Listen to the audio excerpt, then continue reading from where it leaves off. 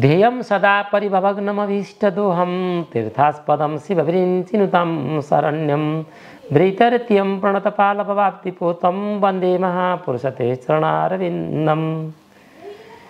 कालिका मिडियामा ज्योतिष विज्ञान कार्यक्रम हेर्दै र सुन्दै गर्नुभएका समादरणीय दर्शक र श्रोताहरूमा हार्दिक नमन र प्रणाम गर्दै सदा जस्तै आज पनि म ज्योतिष गोविन्द प्रसाद शास्त्री तपाईँहरू समक्ष आजको पञ्चाङ्ग राशिफललाई लिएर उपस्थित भइसकेको छु र यो कार्यक्रम सधैँ यसै समयमा प्रसारण गर्छ र तपाईँ प्रत्यक्षमा सेवा लिन चाहनुहुन्छ र कम्प्युटर माध्यमबाट जनपत्रिका टिप्पणीहरू बनाउन चाहनुहुन्छ भने हाम्रो मोबाइल नम्बर अन्ठानब्बे चार उन्साठी छप्पन्न नौ सय त्रिसठी र हाम्रो निवास भरतपुर पाँच नानपुर स्वामी चोकमा रहेको छ।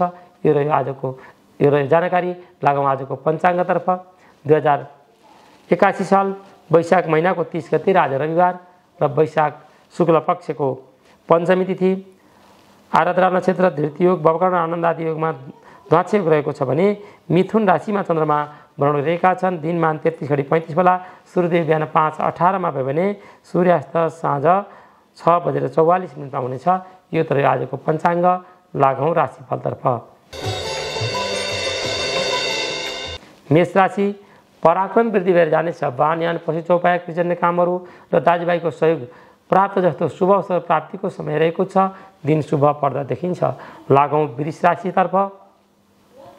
वृष राशि नै तपाईँहरूको लागि बौद्धिक दक्षतामा वृद्धि रहने विद्याबाट आर्य सम्पत्ति प्राप्त रहने मित्रजन र कुटुम्बीको सहयोग प्राप्तिका कारण तपाईँको मनमा उच्च मनोबल वृद्धि र शुभ कार्य सम्पन्न जस्तो शुभ अवसर प्राप्त भएको छ। दिन शुभ पर्दा देखिन्छ। मिथुन राशि तपाईँको राशिमा चन्द्रमा रहेका छन्। तपाईँका माङ्गलिक कार्य सम्पादन भएर जानेछन्। मिष्टान्न भोजन नयाँ वस्त्र प्राप्ति नयाँ कामको शुभारम्भ यात्रामा सफलता जस्तो शुभ अवसर प्राप्त रहेको हुनाले दिन शुभ र सुख पर्दा रहेको छ। कर्कट राशि व्यय चन्द्रमा रहेका छन्।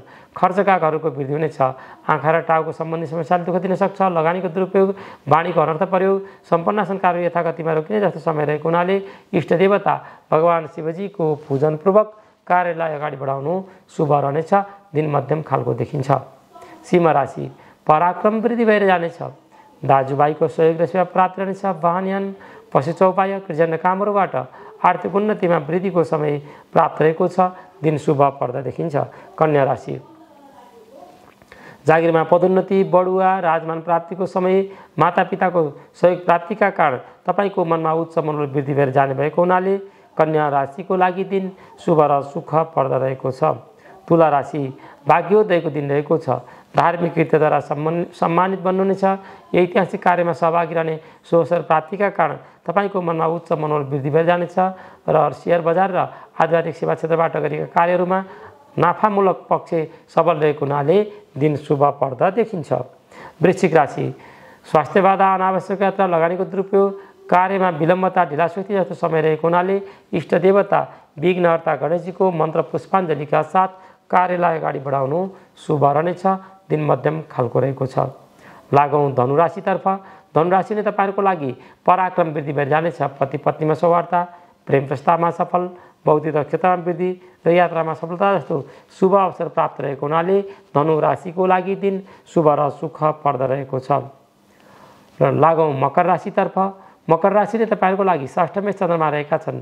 कार्यमा बोजिलोपन स्वास्थ्य बाधा लगानीको दुरुपयोग अनावश्यक यात्रा जस्तो समय प्राप्त रहेको हुनाले इष्ट देवता भगवान् शिवजीको पूजनपूर्वक कार्यलाई अगाडि बढाउनु शुभ रहनेछ। र पालो रह्यो कुम्भ राशिको कुम्भ राशि नै तपाईँहरूको लागि बौद्धिक दक्षतामा वृद्धि भएर जानेछ विद्याबाट आर्थिक सम्पत्ति प्राप्त रहनेछ। छोराछोरीको न्याय र सुखद समाचारका कारण तपाईँको मनमा उच्च मनोबल वृद्धि गर्नुभएको हुनाले कुम्भ राशिको लागि दिन शुभ र सुख पर्दा देखिन्छ। र अन्तिममा लागौँ मिन राशितर्फ। मिन राशिले तपाईँहरूको लागि मित्रको विश्वासप्रद कार्य योजना पर्ने लगानीको दुरुपयोग सम्पन्नासन कार्यहरू यथागतिमा रोकिने घर जग्गा भूमि सम्बन्धी कारोबारमा लगानी गर्दै हुनुहुन्छ भने विचारपूर्ण तरिकाले गर्नु शुभ रहनेछ। दिन मध्यम खालको रहेको छ। यी तरै राशिफलहरू राशिफलले जे जस्तो बताइए तापनि सद्भाव सद्विचार र सद्कामनाका साथ हामीहरू अगाडि लाग्यौँ भने हामी सबैको कल्याण रहनेछ भन्ने मङ्गल वचन दिँदै राशिफललाई समाप्त गरी म तपाईँ समक्ष बिदा माग्न पुगेँ। भोलि पुनः यसै समय हाजिर रहनेछु सर्वे भवन्तु सुखिनः सर्वे सन्तु निरामया सर्वे भद्राणि पश्यन्तु। मा कचित् दुःख भाग भवेत्। ओम शान्ति ओम शान्ति ओम शान्ति।